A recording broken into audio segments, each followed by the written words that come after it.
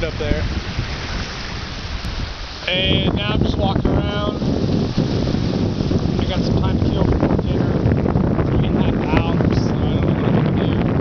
Uh, looks like it's starting to rain, possibly snow. Tomorrow I'm going to go skiing in Louisville. And this is just some lake. I'm not sure the name of the lake. But I'm going to walk around here until it gets too cold or rainy or something That's about it. Staying at Pension Starry,